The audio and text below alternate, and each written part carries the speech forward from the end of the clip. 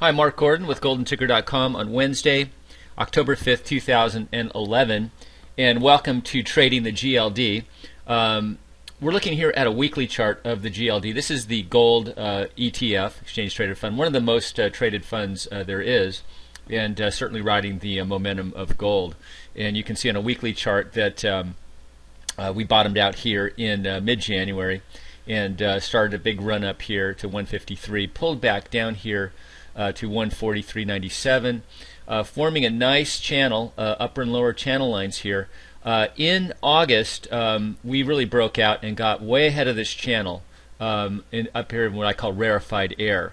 And uh, it was ripe for a correction. It hung up here for uh, what one, two, three, four, six, six weeks and then uh, fell back into this channel. Now, what's interesting is is when you draw a line along the lows here, we are still respecting this lower channel line.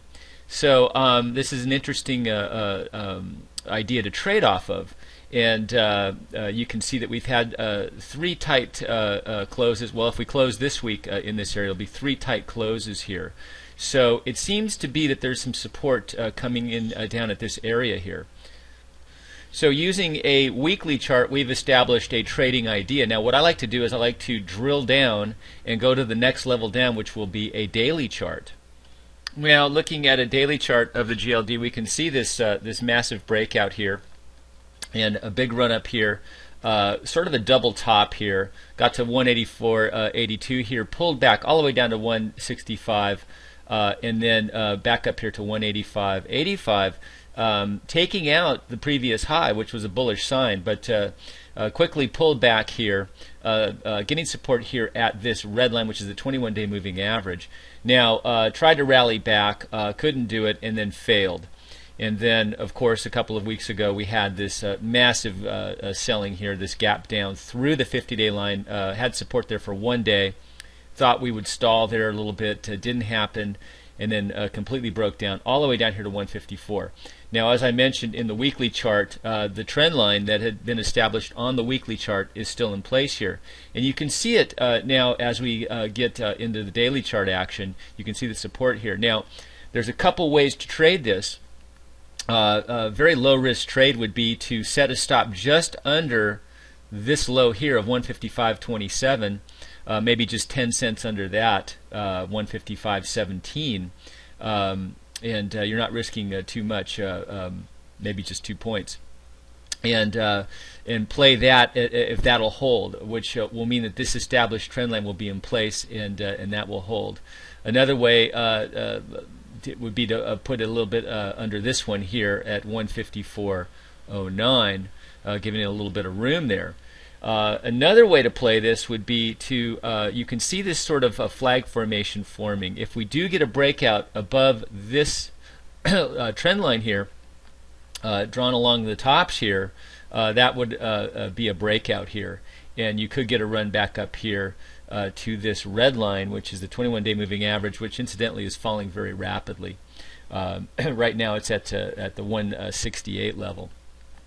So uh, there's some possibilities here. Uh, what what we're doing on a daily chart though is we're fighting a battle right around this green dotted line, which is the 100-day moving average. So uh, gold is consolidating in this area with support down here. Now, I personally like to see a bit more of a trend established on a daily chart before I commit money. Uh, we've got uh, um, basically a pattern here uh, where we came up off of 154.19 and got up here. It was about the 162 level and then uh, pulled back here, uh, didn't take out this low here, and then rallied up to 161.56. So we didn't get above this previous little peak here. Uh, so what we have is a um, is a, a, lower high, and we have a higher low. So we're sort of just kind of go, uh, moving back and forth here. I like to wait till a, a little better of a trend is established before I would I would go in. Now another thing I do is even go down another level, uh, down to the 60 minute chart. Now, going down into an hourly chart can give us more clues as to uh, the, the, direction and the momentum of, uh, of the GLD. And the first thing I noticed here is that we have a bearish configuration of moving averages. And what I mean by that is that your 200 day moving average, this uh, black dotted line, and uh, your green uh, dotted line here, which is the 100 uh, day moving average, this is below the 200. This is not a good sign. And also the 50 day, which is this blue solid line, is below the 100. You like to see the opposite. You want to see the 50 above the 100 and the 100 above the 200 to show that uh, that your moving averages are in an uptrend here. Um, so this is one of the weaknesses I see. Now uh, another uh, weakness I see is uh, we do have a sideways action here, but what happened here? Here's that 162.29 I talked about pulled back here to 155.56 and then rallied back up to 161.56 which did not take that out. So we did not establish a pattern of a higher high okay? So that that means that we are technically not, technically not in an uptrend when you start analyzing the waves of, of this uh, of this hourly chart here and also the 155.27 slightly took out the 155.56. So really what you have, even though it looks like a sideways action, is a slight downtrend. So I don't like that either. So uh, I would hold off on, on trading the GLD until we get a firm um, uptrend uh, intact, or you may even want to short it if we get a good downtrend intact. So I call this um, holofractal trading, and uh, as you uh, may know, a hologram is a bunch of small uh, images that are exactly the same as the uh, uh, larger image that you see. Uh, so basically, you can uh, drill down into a stock and look at it at, at through multiple time frames, almost like a hologram, which gives you great insights into the true direction of of the movement of a, of a stock, or in this case, an exchange traded fund. And I'll be doing more of these videos to further explain this and to get you used to this type of trading.